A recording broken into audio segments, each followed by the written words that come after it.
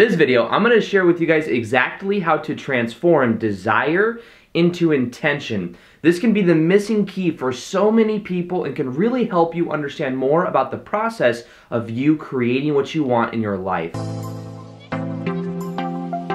Welcome back to another video. My name is Aaron and I help people expand their consciousness.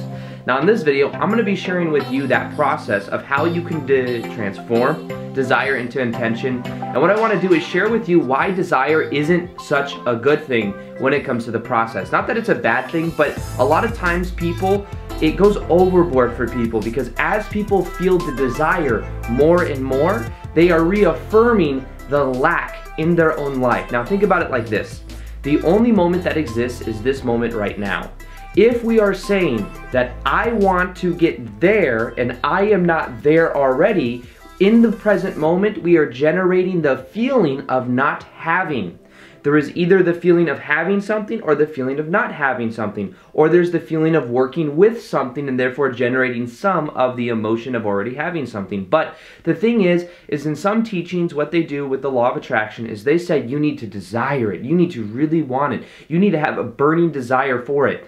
Now, I think in the time that a lot of those teachings were created, which was a lot of times back in like the 1930s, uh, you're looking at like uh, Think and Grow Rich, which I think is arguably one of the best books on the law of attraction, especially back in his day. However, I think it is outdated because what we're coming to understand is more about how reality works. Physics is starting to show us that the only moment that does exist is now and that there are an infinite number of parallel realities. And when we look at it from this point of view, it can transform the whole entire process. Now, of course, with this, I encourage you to try it for yourselves instead of just take my word for it. See if it really works for you. I've been practicing this over the last couple months and it has been working amazing. So that's why I'm sharing it with you now. And if you go into some of my prior videos, I may talk about how you need to increase desire. This is a learning process for me, and that's why now I'm sharing this with you. Now, the idea is that desire does absolutely nothing unless it is transformed into intention. Now, I've used this analogy before, but imagine right now I'm standing here and I have a desire to put up my hand. But I don't put up my hand, but I have a desire to do it. The desire does absolutely nothing unless I put an intention and I carry that out. So now what I could do is I could put my hand up like this because I intend to do it, not because I desire it, because I intend to do it, and then that's the missing key. You see, Desire is something that reaffirms the current resistance, whereas an intention is like bringing out a plan. An intention has the end goal in mind, but also the process in mind. And when we start to go at it from a place of intention, what we do is we also minimize the importance. Now, I've been talking about this a lot lately. I think this is one of the biggest game changers in all my teachings of the law of attraction is understanding that when we decrease the importance of something, we take it off the pedestal. So, if you've ever desired to be with someone, if you ever had something that you were going after and you felt like you didn't have it already, what you may have done is been put it on a pedestal. You may have said, I don't have this, I want this, which means what we're doing is we're giving it more meaning, more importance than it really needs. The moment we give something what is called excess potential or excess importance, that's what it is. Anytime we give something excess meaning, what we create is what is called excess potential. Now, this is from a book called Reality Transurfing that was uh, written a while ago by a Russian physicist. It's a little bit of a deep book. It's a little bit hard to understand, but it's really changing the way that I see the whole process. And basically, the way it is, is anytime we give something excess meaning, excess potential, or uh, excess importance, we put it on a pedestal. The moment we do that, forces come into play. We could think of that as energy comes into play to balance that out. And that balancing out will normally mean that it takes it away from you because it's balancing out that spectrum because there is more emotion being felt than is actually there. It's giving excess meaning. Now, what this means is that if we have desire, we're putting excess importance onto whatever we want to create, and we're saying that it is not here already. Therefore, those forces, metaphorically speaking, come into play to balance out that energy. So what this means is that desire is not a good thing unless desire leads to action or intention.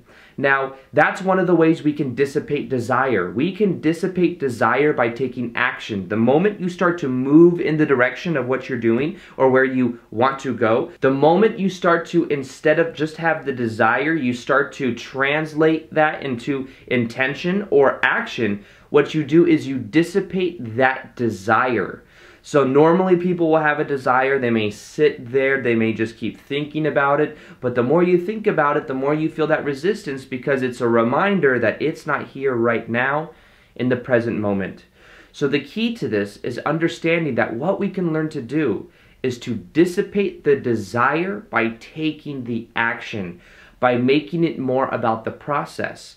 Now, this also gives us the ability to look at the larger whole of what our goals are. Because most people will have a goal, and they'll have an end goal that's not here already. I want to make uh, $150,000 a year next year. Maybe that's somebody's goal. They have that big goal, they're normally now making $40,000 a year. It's a big stretch to make that goal.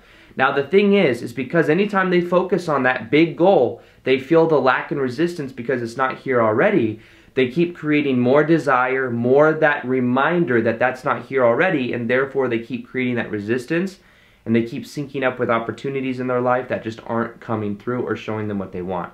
The solution to all of this is to make a plan to look at to the process, to make it where you break down that larger goal and you break that down into maybe something, an activity that you can do every day, an activity that you can do every month, and something that you can break it down into part of the process.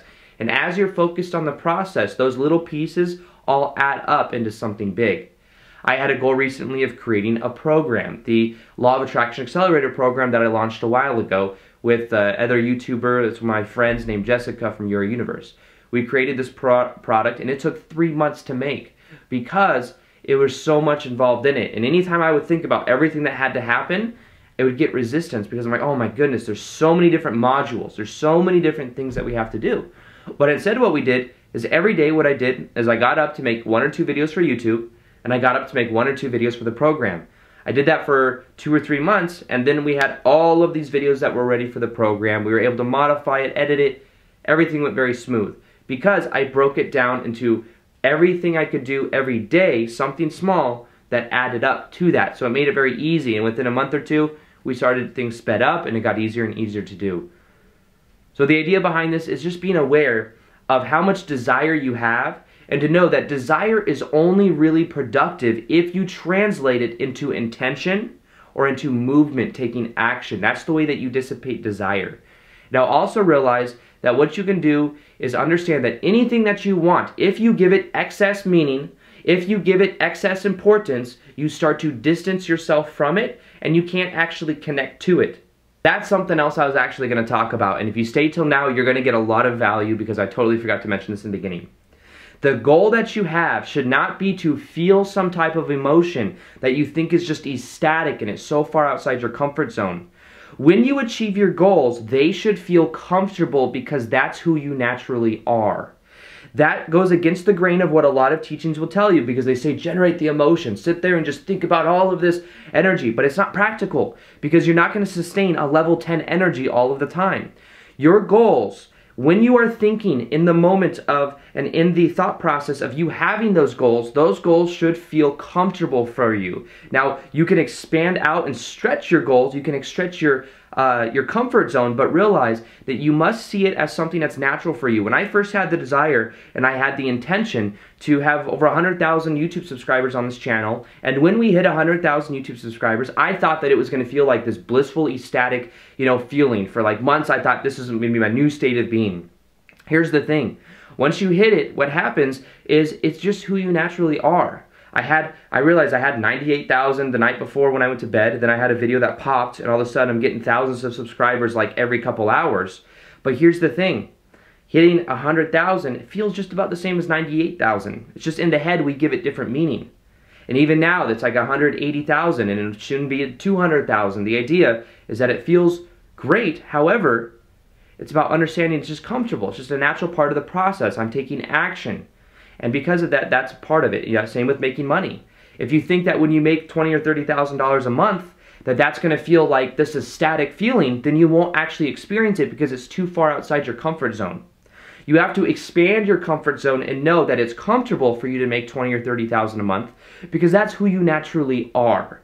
That's a natural byproduct of the value that you give. And also know that the key is to not be focusing specifically on the money. Money is a byproduct of you doing your passion and you providing value to other people. And when you approach it like that, you come at it from a much different place and people can connect to it. It's something that you're more connected to yourself. Because think about it, the goal, the heart does not understand the idea of just the money, right? You can, we could focus on, I want to make uh, $150,000 a year, right? The analogy I used earlier. But the heart doesn't understand. It's like, what, what, what's the purpose of that? The money means something to us, but the heart doesn't really connect to it. The head does, the heart doesn't. The heart connects to us doing our passion, us connecting to other people, whatever our passion is, that's what the heart connects to. So realize you don't really want the money, you want the freedom the money gives you. You want the ability to travel and do what you love for a living.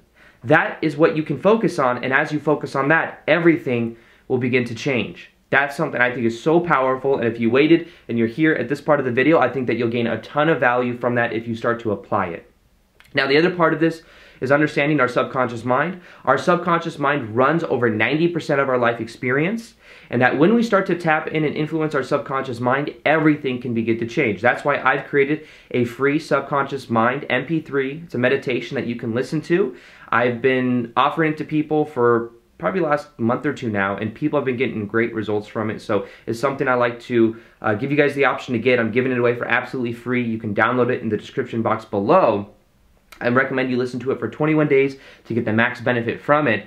And that, other than that, as always, I hope you guys enjoyed this video. Feel free to like this video if you guys liked it. Subscribe if you haven't already. Hit that little notification here so that you guys can see the daily vids that I do. And other than that, as always, I will see you guys on the next vid. Peace, much love, and namaste.